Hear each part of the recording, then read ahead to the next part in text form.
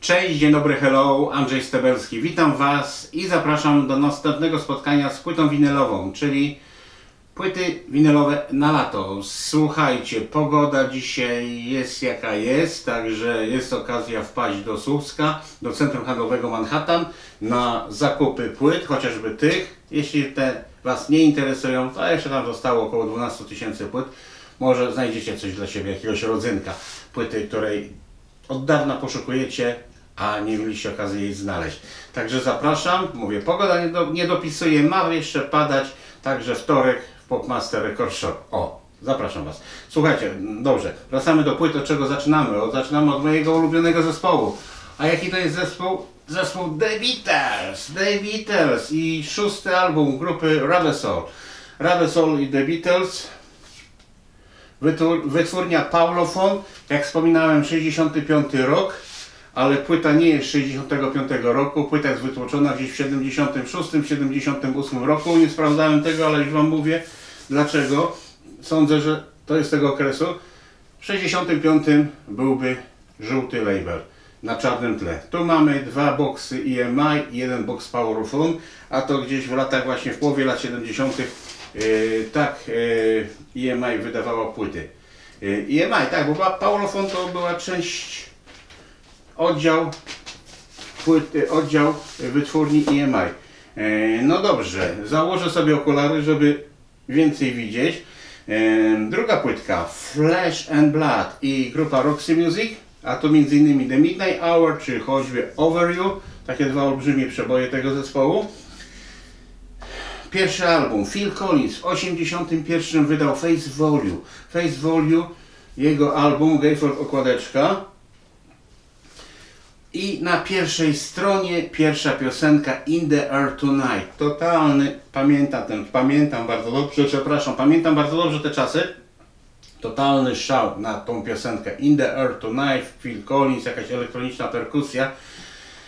Przebój niesamowity. No i Genesis, pozostali członkowie grupy Genesis mieli pretensje do Phila Collinsa, dlaczego ten utwór nie został wydany na albumie Genesis, tylko on wziął na swoim solowym albumie, wydał tą piosenkę. Phil Collins, mówi, Phil Collins mówi, sorry, sorry boys, ale kilka razy proponowałem tą piosenkę, żeby umieścić na albumie Genesis, nie wyraziliście na to zgody, także do kogo pretensje?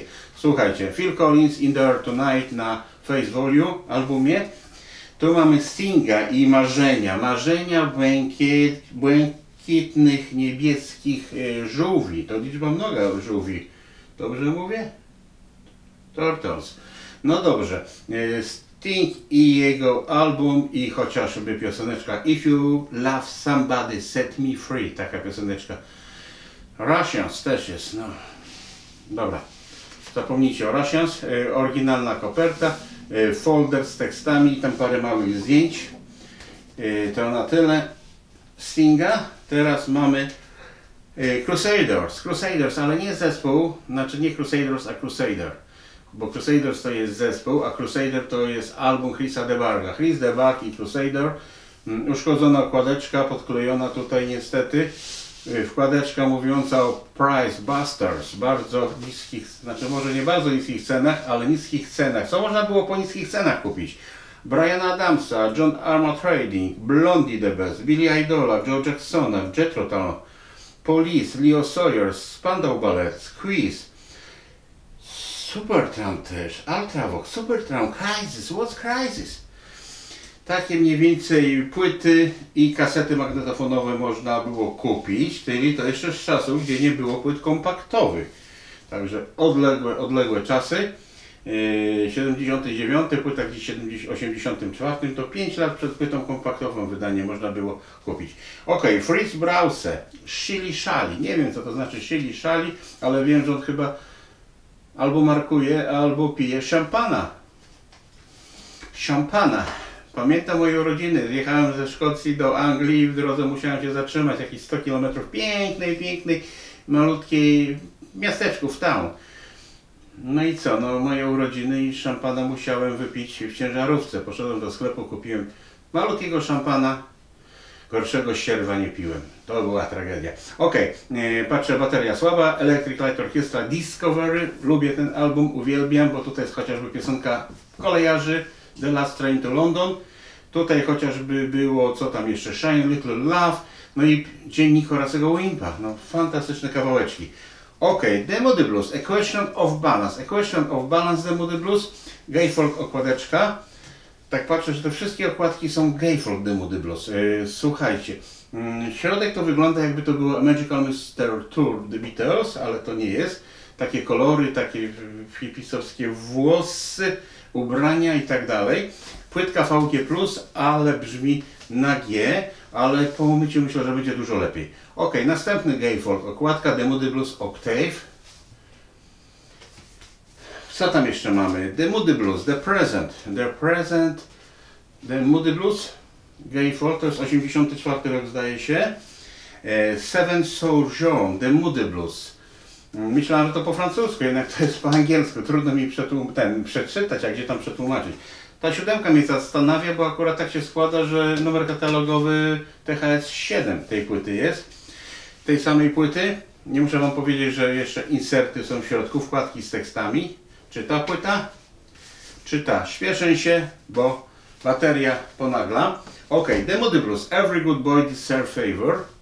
Też gatefold, też w środku insert, czy nawet y, książeczka, insert.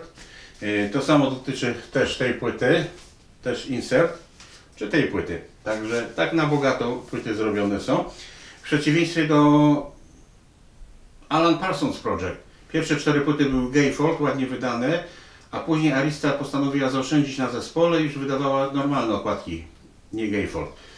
No tutaj akurat y, Trishold, Deram, czy Deka, czy jeszcze ktoś nie oszczędzał na Demo Blues. I wszystkie okładeczki gatefold, plus jeszcze wkładeczka z tekstami. No chyba źle trafiłem w tym momencie. E, jest, nie, jest. Wkładka z tekstami, insert jest. I tu mamy prawnuków, dla naszych prawnuków. The All Children's Children's Children.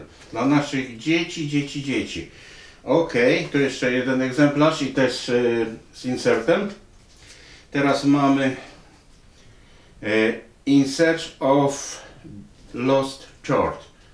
The Moody Blues, 68 rok. E, Deram wytwórnia na labelu czerwono-białym, już Wam pokazuję. Śpieszcie Andrzej, śpiesz, bo tutaj bateria się kończy. The Moody Blues, On the Threshold of Dream, na progu marzeń, na progu snów.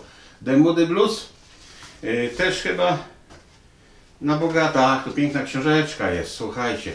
To mamy taką chyba 12-stronicową książeczkę z tekstami, z jakimś tam description. Yy, to samo, mm, to samo dotyczy tej kopii. Także tylko tutaj podklejone chyba taśmą? Nie, nie, nie jest podklejone taśmą. Także też książeczka jest. Ops. Jak najbardziej. No i teraz pozostało nam Demo the Blues ze skwarkami, czyli koncert. Jak klaszczą ludzie, to tak jakby skwarki smażeli na patelni, tak brzmi w kolumnach. Plus 5, nie plus 500, tylko plus 5. Oni nie byli rozrzutni. Yy, Podwójny album. Patrzę, nie ma żadnej wkładki, nie ma żadnej książeczki. O co chodzi plus 5? Pierwsze trzy strony, tak jak na Genesis Three Sites Live, e, trzy strony są na żywo z Royal Albert Hall, myślę, bo tutaj mamy zdjęcie Royal Albert Hall, a czwarta strona nagrania studyjne, które wcześniej nie okazały się na żadnej płycie. Także ciekawostka fajna dla tych, co lubią Demo the Blues. Teraz mamy jeszcze ostatnią płytę Demo the Blues, The Long Distance, Long Distance Voyager. A tu mamy m.in. Voice 20, y, 22 Nights, 22 Days i Justin Hoywat, Lodge Bloch i kończymy, bo już miga, już się kończy. Czyli dwóch członków, dwóch panów z The Blues. Na razie, trzymajcie się, zapraszam Was do Słupska na Hale, Manhattan, pierwsze piętro. Trzymajcie się, hej!